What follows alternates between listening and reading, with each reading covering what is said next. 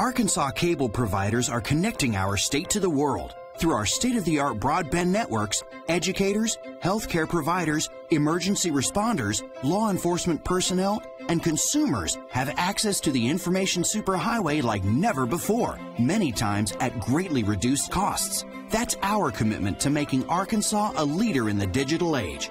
Arkansas cable providers are indeed connecting our state to the world, and we're just getting started. Dr. Barth, thank you so much for joining us. Now let's talk about some of these numbers. A thousand people who are voters who have voted in previous elections were polled, and the margin of error is about 3% plus or minus. Mm -hmm. But the first race that we want to talk about is a virtual dead heat between Mike Ross and Asa Hutchinson. Were you surprised that the race is so close? No, not at all. I mean, we had uh, pulled this race uh, uh, back in October. It was about a four-point gap, which is, you know, pretty much within the margin of error. Um, we have seen uh, uh, campaigning uh, on TV uh, on both sides. Um, in the months since, and so we've seen um, a, you know a little tightening in the race. Both candidates have come up a, a bit. Um, former Congressman Ross come up a little bit more, and so we have a, a dead heat for, for governor. Um, and you know, I, I really think that um, until we get to Labor Day, where voters really engage more thoroughly in this race, we're probably going to be see pretty much a dead heat in different polls. We may see one candidate up one or two, another uh, the other candidate one or two, because that's all about the margin of error. Let's talk about the other race that has so much attention, even mm-hmm. nationwide. Senator Pryor, um, Representative Cotton, this race, there are 8% that are undecided.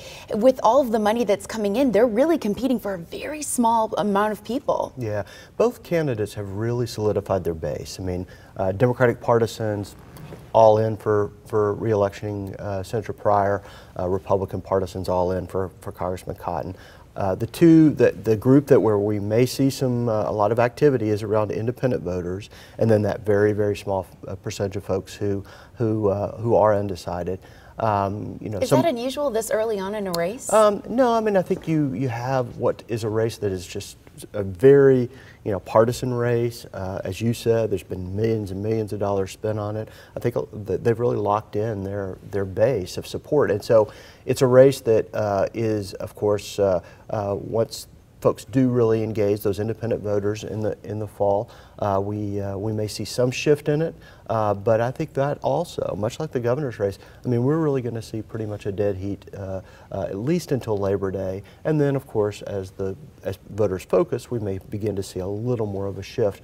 Uh, but it's a very tight race as well. Um, you know, I think it does bode pretty well for, for Senator Pryor that he has, you know, fended off what have been some pretty aggressive attacks and has still got a minor, minor lead, although it's really so right at the margin of margin error. of error. Exactly. Yeah. And then finally, the ethics and term limit right. initiative. Now, this will be on the November ballot. Mm -hmm. uh, it went through the legislature this past mm -hmm. year. So tell me a little bit about this. And uh, the numbers don't look very good for this. No, and this these numbers are very consistent with our polling that we did back in October. Uh, it's very stable. Um, and uh, uh, it's, it's unfavorable. And, and what's interesting is that uh, we pulled this a couple of years ago when there was a, a, measure on the ballot that was only about limiting gifts and dinners uh, to uh, to legislators. That was very favorable. Hmm. Uh, it really does seem to be limits. the term limit okay. extension seems to be a problem, um, and then also it does have the opportunity for some pay raise for elected officials. I think both of those things are really bogging down what is part of this is pretty popular, other parts of it Even with all of the ethics issues that we've had this year. Right. Very interesting. Well, Dr. Jay Barth, you are a political science professor over at Hendrix College, and he is a survey partner with Talk Business and Politics on this polls. Thank you so much for being here. Back to you, Roby.